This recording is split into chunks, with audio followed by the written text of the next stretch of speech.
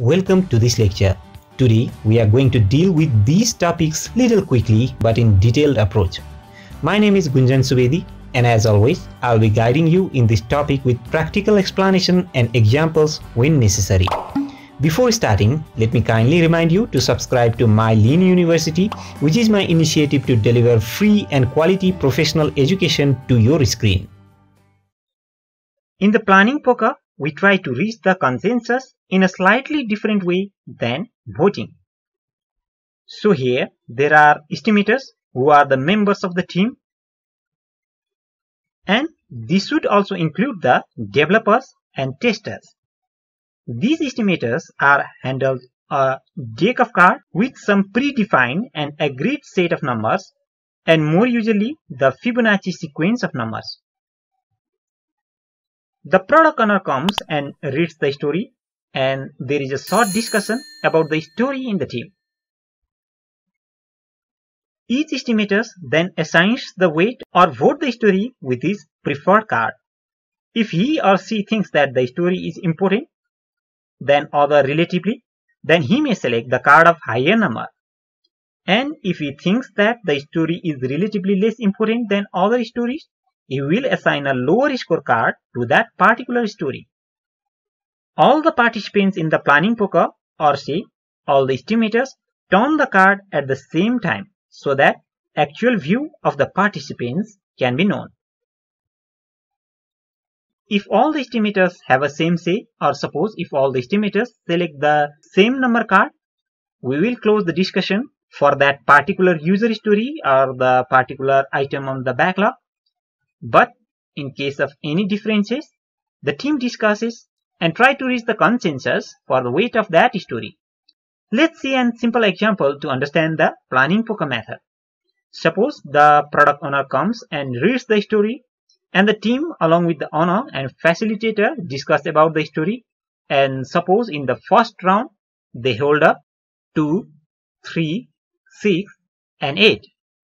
Okay, suppose the guy assigning the 8 says that he is a developer and this requires a new framework to build and he requires a lot of time. The person assigning the card number 2 may say that he had programmed the software before with a similar framework and it's not that hard. He may be ready to come up but not to the level of it. All people hear the discussion and put their views as well. Suppose on the second shuffle or on the second round, all people came up with the 5 and one came up with the 8. The person with the 8 suppose gave some good reason why he thinks the story will be harder to be developed to a product. He says that he thinks it will take more time because he realized that there is uncertainty and there is a need for more testing. Okay, suppose in the next round all agreed upon the 5 and the story was closed assigning it the importance rank of 5 we can close the talk at 5 as there is no big difference between 5 and 8 but the decision has to be done. Unanimously. But let's suppose a special case here. One person came up with a different figure. Say suppose 55 so what to do in that case? There could be two things responsible for it technical uncertainty and product uncertainty. Technical uncertainty when the team is not sure which approach of development would be easier or better and product uncertainty when the team is not sure how the end user would react. So in this case it is wise to put the story aside and discuss until the uncertainty is resolved or we use the range as estimate.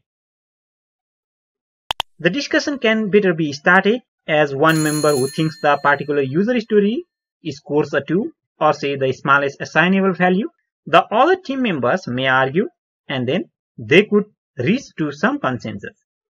Even if there are minor differences in the selection of the cards by the team, it's okay if they can reach the consensus.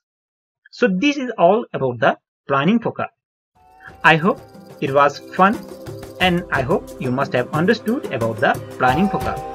Thank you so much.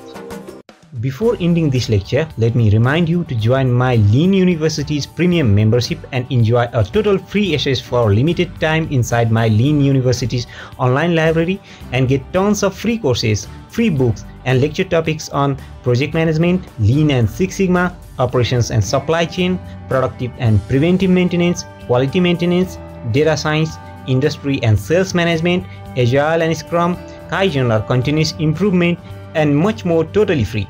No strings attached. As we have limited seats, only the early subscribers will be given open access inside the premium membership and remember, it's totally free. Please subscribe and share the video if you share the common belief that professional education should be accessible to all.